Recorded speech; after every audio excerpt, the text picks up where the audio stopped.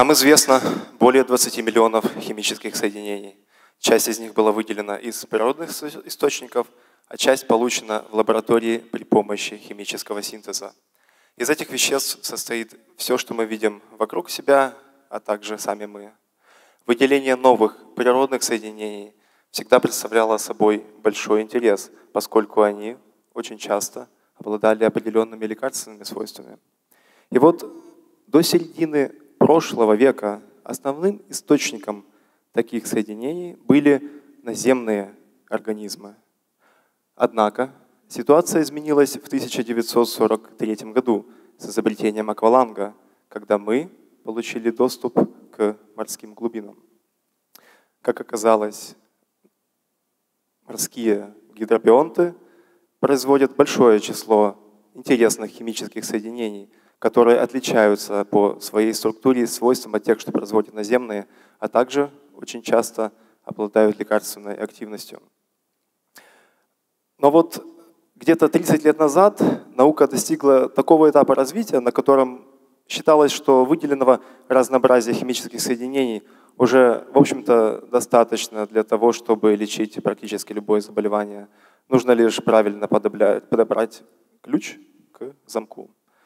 Но проблема состояла в том, что замок заболевания, он всего один, но ключей 20 миллионов. Эта проблема частично была решена при помощи разработки современных методов компьютерного моделирования происходящих в нашем с вами организме процессов, которая помогала иногда правильно предсказать и понять, какое именно вещество поможет в случае конкретной патологии. Кроме того, был разработан ряд современных методов химии и биологии, который позволял в лабораторных условиях с помощью эксперимента понять, какое именно вещество поможет в случае конкретной болезни. И вот в свете всего этого, в свете таких достижений или представлений, интерес к поиску и выделению новых природных соединений постепенно, казалось бы, начал угасать. Но примерно 15 лет назад мы все-таки вынуждены были признать две следующие вещи. Первое – это то, что накопленных у нас знаний все еще недостаточно, чтобы на 100% правильно моделировать лекарства на компьютере. И второе – это то, что 20 миллионов имеющихся у нас ключей все так же недостаточно, чтобы открывать некоторые из замков. Таким образом, научное сообщество вновь вернулось к идее о том, что Поиск и изучение новых природных соединений все так же необходимы нам, медицине и науке, для создания новых лекарственных препаратов. На настоящий момент наиболее благодатным и перспективным источником таких новых соединений являются такие морские беспозвоночные животные, как губки и асцидии. Почему именно они? Дело в том, что эти животные они на минуточку относятся именно к животным, хотя и выглядят часто как растения. Так вот, они ведут неподвижный образ жизни, и поэтому они не могут убежать, уплыть, улететь или банально каким-то образом спрятаться от врагов, от тех других организмов, хищников, которые хотят их съесть. И они вынуждены каким-то образом защищаться, потому что ну, не хотят быть съеденными. И вот один из наиболее эффективных способов защиты, которое избрала часть, по крайней мере, из этих животных, это накопление в своем организме неких ядовитых химических веществ, своеобразного химического оружия, которое, если и не убьет, то, по крайней мере, наверняка отпугнет хищника, посягнувшего на нашу кубку. Однако, как завещал нам великий Процельс, солодозис фацит венимус, или в более популярном русском изложении «все яд и все лекарство», и то и другое определяет доза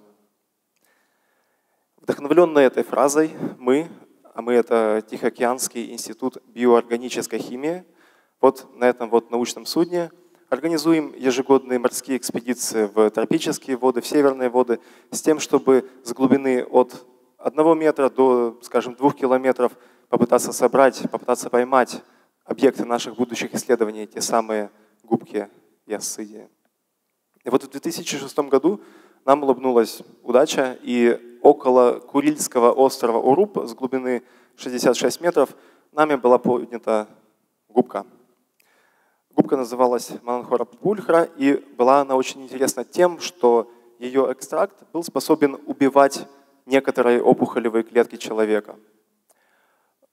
Конечно же, следующим вопросом, который мы задали себе, что же именно содержит эта губка, что она показывает такие интересные лекарственные свойства.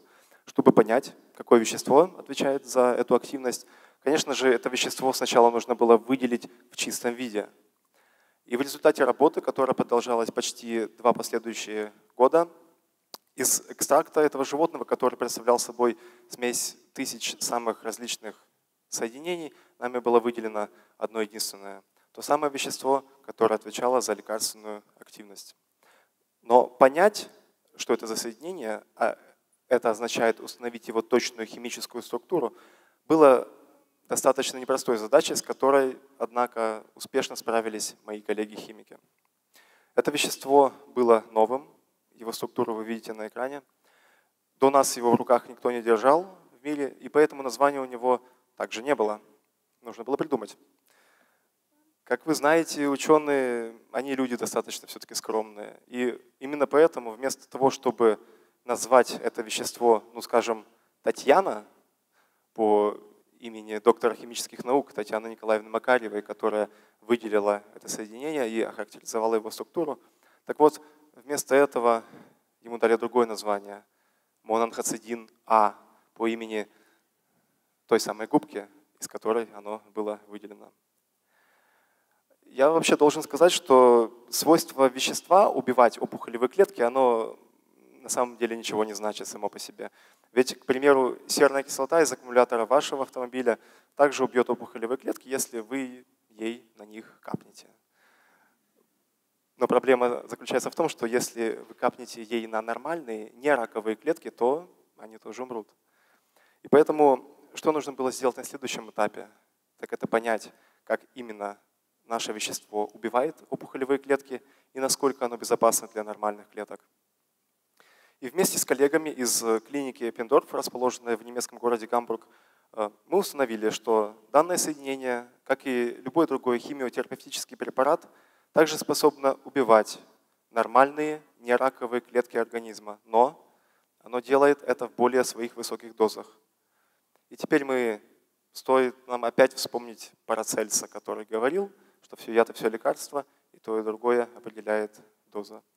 А это означает, что и для нашего соединения, для мононхоцидина А, может быть подобрана такая его доза, такая его концентрация, которая будет убивать раковые клетки, не трогая при этом нормальные. Второе очень важное свойство данной молекулы, которое было установлено нами, это способность убивать те опухолевые клетки человека, которые были устойчивы к стандартным химиотерапевтическим препаратам. Таким образом, наша молекула работала там, где другие лекарства уже не помогали. Позже было установлено, что такое важное и необычное свойство этого соединения связано с его способностью запускать в опухолевых клетках процесс, который называется аутофагия или самопоедание. При этом процессе опухолевая клетка как бы съедает сама себя изнутри и от этого погибает.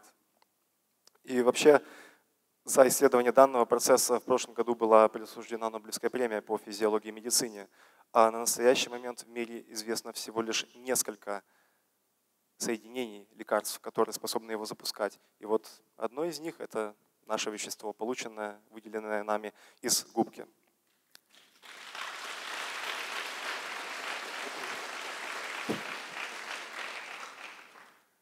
Но все эти данные, о которых мы говорили с вами до настоящего момента, они были получены нами на опухолевых клетках, на так называемых культурах опухолевых клеток. А это означает, что клетки были исследованы нами отдельно от организма. Но чтобы мы могли говорить о мононхосоединении А как о лекарстве, а не просто как о веществе, нужно провести испытания его на животных, на живых организмах. И, к сожалению, на настоящий момент не существует никакого другого способа подтвердить эффективность, а главное безопасность соединения, прежде чем начинать настоящие клинические испытания с участием пациентов. Но на данном этапе а этот этап является настоящей стадией развития этого проекта, мы столкнулись с такой проблемой, что для испытаний на животных нужны большее количество вещества. При том, что мононхацидин-А – это редкая молекула, выделенная нами из редкой глубоководной губки, и поэтому ловить это животное, ловить губку для того, чтобы получить его большее количество, на самом деле это просто невозможно. Но решение у данной проблемы есть, и оно называется химический синтез. Что это означает? Это означает, что в лабораторных условиях из простых, доступных и дешевых химических реактивов с помощью химических реакций можно синтезировать данную молекулу. Схема синтеза на настоящий момент пока еще не разработана, но над ней трудятся ученые из нескольких стран. И когда процесс будет завершен, будет понятно, каким же образом можно получать данное соединение в лабораторных условиях, мы сможем наработать его большее количество и начать испытания на животных, что будет следующим шагом на пути создания противоопухолевого препарата. Данный процесс – это очень долгий и сложный процесс, но мы сделаем все возможное, чтобы пройти его до конца. Вообще на настоящий момент в мире известно 7 лекарственных препаратов, которые разрешены к применению э, в клинике, которые были созданы на основе морских молекул. И 4 из этих 7 препаратов используются в онкологии для лечения рака. Я и мои коллеги из Владивостока и Гамбурга верим, что в ближайшее время это число увеличится.